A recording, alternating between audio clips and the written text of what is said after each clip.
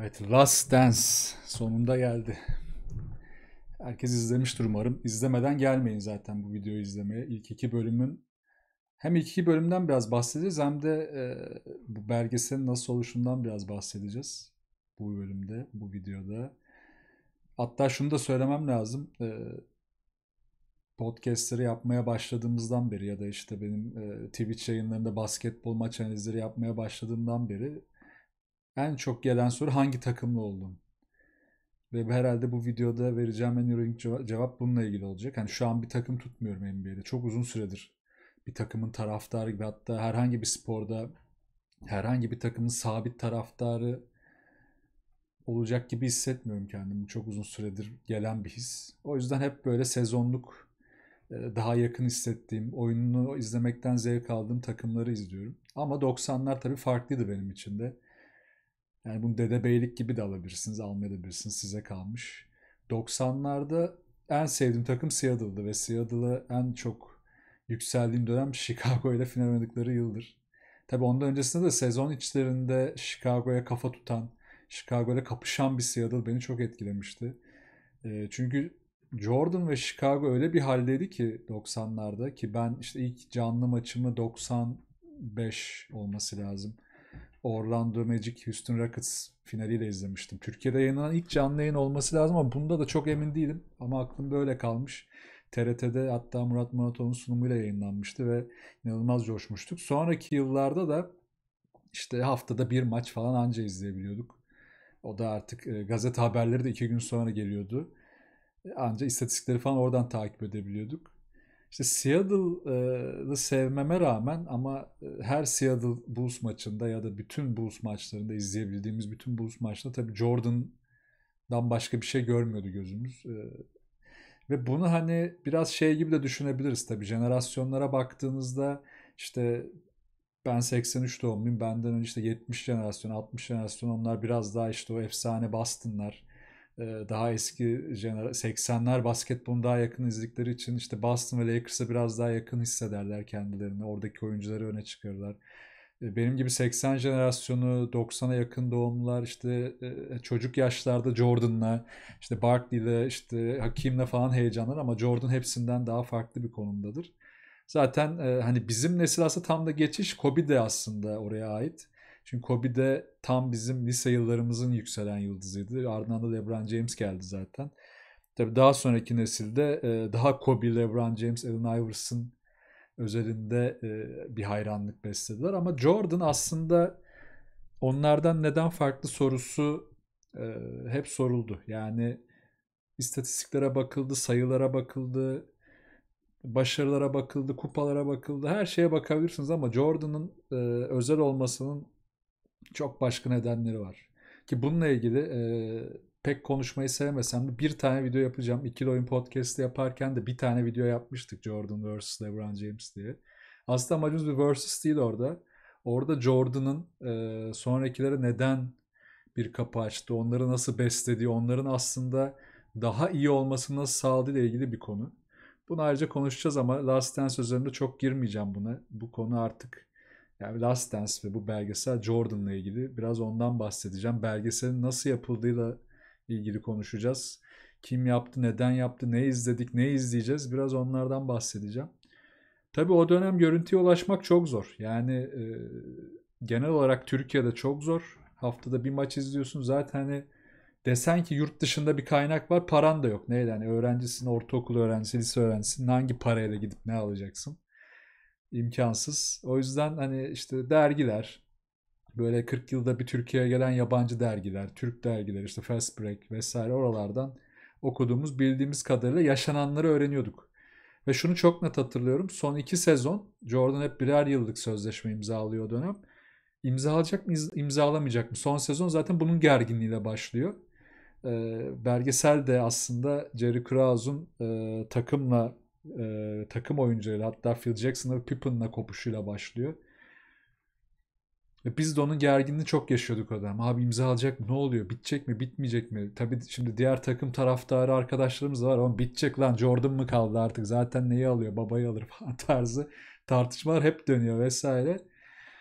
Ve imza aldığında çok sevinmiştik. Yani onlar da sevinmişti bu arada. Bir sene daha Jordan izleyeceğiz vesaire diye. Ve bütün hani e, final serisini yine full izlemiştik. Ve ben çok iyi hatırlıyorum. İstatistikler geç geldiği için her sabah oturup o istatistikleri tutup okula gidip istatistikler üzerinden maçı tartışıyorduk, konuşuyorduk. Ee, izleyemeyen arkadaşlar için ben maçı anlatıyordum.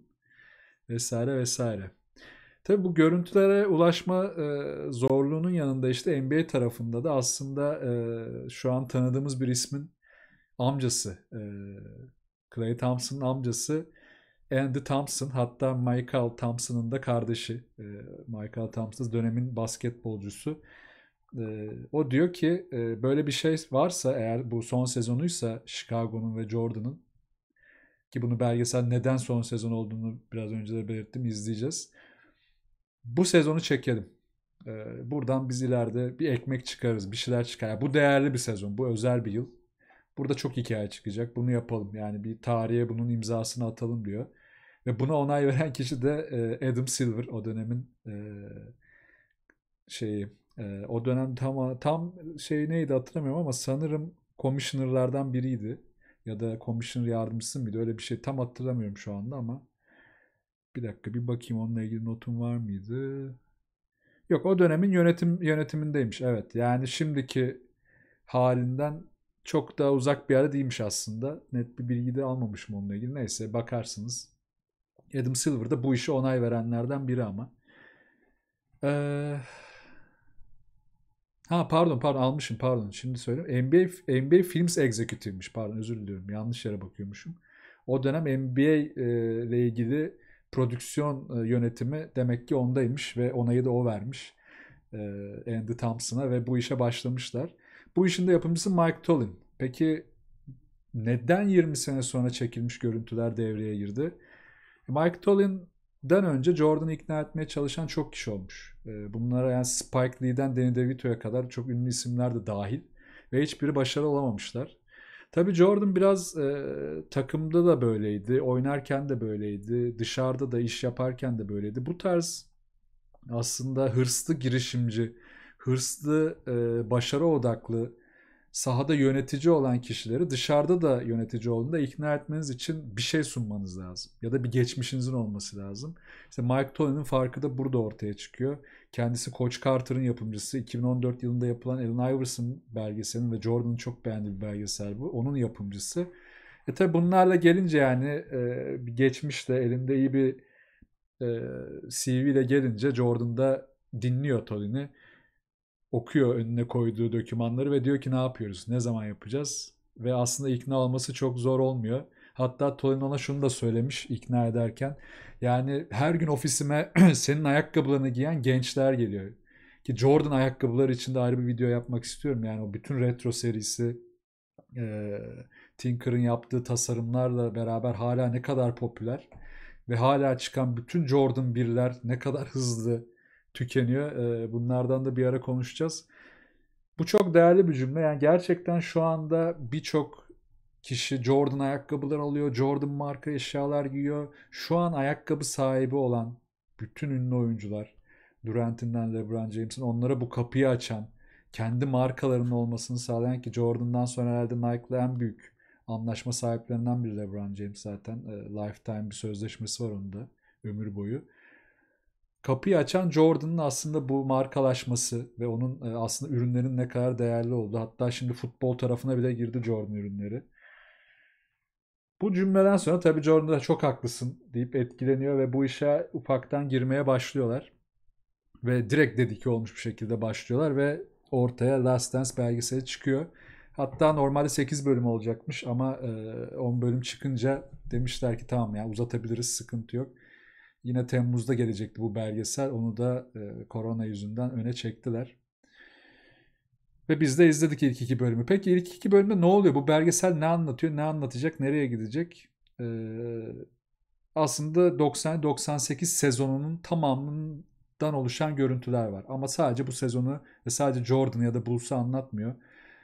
Yaklaşık 106 kişiyle hem takım içinden hem takım dışından e, yapılmış röportajlar var. Bunlar 90-98 sezonun başından başlayıp bir yandan da Jordan'ın lige ilk gelişi, kolej döneminin sonu, lige girişi ve Jerry Krause ve Chicago olan ilişkisinin başlangıcı arasında gidip geliyor belgesel. Yani biz e, son sezonu izlerken geri gidiyoruz ve her gidiş gelişimizde de e, bir oyuncuya, bir kişiye odaklanıyor belgesel. İlk bölümde tabii ki bu Jordan, ikinci bölümde de Pippen'ı görüyoruz. Ve aslında biraz izlerken şeyi de hissediyoruz. Yani daha yolun başında her şey çok zormuş. Yani Jerry Krause'un kişiliği, takım kurma çabası, Jordan daha toy ama bir yandan zaten hırslı. Kendini çok hızlı kabul ettirmek istiyor. Çünkü o dönem lige girdiğinde genel yorumlar yani işte cılız, başarılı olursa da en fazla en iyi skorer olur. Belki şampiyonluk alır ama çok zor. Yani tek başına birisi bu kadar ileri gidemez vesaire tarzı ki daha ilk 3-4 sezonunda pardon ilk ilk iki sezonundan sonra yani 86'dan sonra özellikle o dönemin önemli takımlarından olan yani Lakers'ın geçişinden sonra bayrağı iki sene boyunca alacak Detroit'te Cleveland'da çok ciddi bir kapışmaya giriyor ve hepsine kök söktürüyor. Burada bile Jerry Krause'la bir kapışma içine girdiğini belgeselin en başından görüyoruz. Bu arada hemen şunu da ekleyeyim. O dönemin Detroit'i ve Jordan'ın e, kapışması, Jordan Rules'un çıkışıyla ilgili de Kayıt 143 sevgili takipçilerimizden Yiğit'in podcastinde konuştuk. Orada izleyebilirsiniz. SoundCloud'da aratarak bulabilirsiniz podcast'i. Bayağı bir üzerine e, kafa patlattık o dönemin. Ve hani Jordan'ın daha ilk baştan e, o hırsını yansıttığını ama bir yandan da Jerry Krause'un ya biz bir franchise'ız, bir franchise kuruyoruz. Tamam sen bizi ayağa kaldırdın ama bu işler bizden geçer e, tavrından da hiç kaçınmadığını anlıyoruz ve o tavır Jordan'la ve diğer oyuncularla devamlı çarpışarak 97-98 sezonuna kadar geliyor. Ve bunun herhalde hani diğer bölümlerde e, ikinci bölümden sonrasında da son bölüme kadar hep bu tartışmayı, bu çarpışmayı farklı perspektiflerden göreceğiz. Oyuncuların kendi içerisinde, takım içerisindeki uyumunu, uyumsuzluğunu göreceğiz. Ke, ke keza Pippen'ın olaya nasıl baktığını, nasıl bir kişilik olduğunu, Chicago Bulls'un e, Chicago Bulls için onun ne önem ifade ettiğini tam tersine de işte Bulls'una nasıl baktığını vesaire hepsini göreceğiz.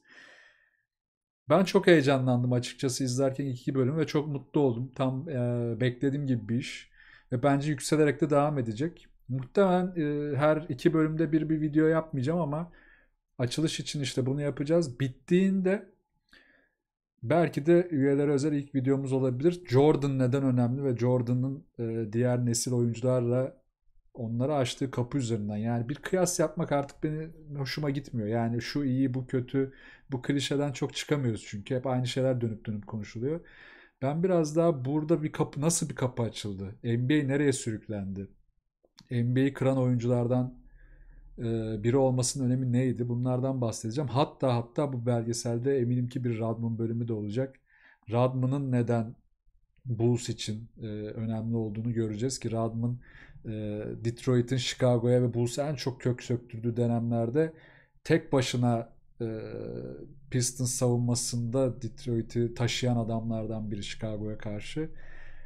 Onlara karşı nasıl bilendiğini ve o takımdan Radman'ı nasıl kabul ettiğini, istediğini vesaire kesin göreceğiz. Bayağı da eğlenceli olacak. E, çok büyük ihtimalle tabii e, Pippen ve Radman dışında Phil Jackson'a odaklanan da bir bölüm olacaktır. Umarım Kukoc ve belki diğer e, e, gelip geçen belki parçalar için bir bölüm olabilir. Onun dışında diğerleri kim olacak? Dışarıdan birileri olacak mı? E, ilk, ilk bölümlerde Obama'yı gördük. E, onun nasıl bir Bulls ilişkisi olduğunu, e, Jordan'dan sonra Bulls'un maçlarının sold out, biletlerinin sold olduktan sonra 10 dolarlık indirimli bilet için nasıl e, çabaladı vesaire gördük. Bunlar bayağı güzel, değerli e, belge şeyler, e, konuşmalar, röportajlar. Ya belgesel çok umut verici ve ben şuna inanıyorum. E, bu belgesel izlendiğinde, bu dokümanlar, bu görüntüler izlendiğinde ki bunun ileride zaten Kobe, LeBron James versiyonlarını da göreceğiz. E, hangi nesilden olursa olsun her insan genç, yaşlı, daha daha da yaşlı kişiler de olsa hiç fark etmeyecek ve esas olayın aslında sahada basketbol ve sayılarla ilgili olmadığını ve bu işin saha dışında ne kadar zor olduğunu, ne kadar yönetilmesinin imkansız olduğunu görecekler. Bu beni mutlu ediyor. Çünkü bununla ilgili Radman'ın da çok güzel bir sözü var. Yani biz sahada basketbol oynamak için para almıyoruz aslında. O çok kolay. Çıkıyoruz ve işimizi yapıyoruz. Esas parayı biz dışarıdaki baskıyla, o hayatı yaşamakla uğraşmak için onun karşılığında alıyoruz.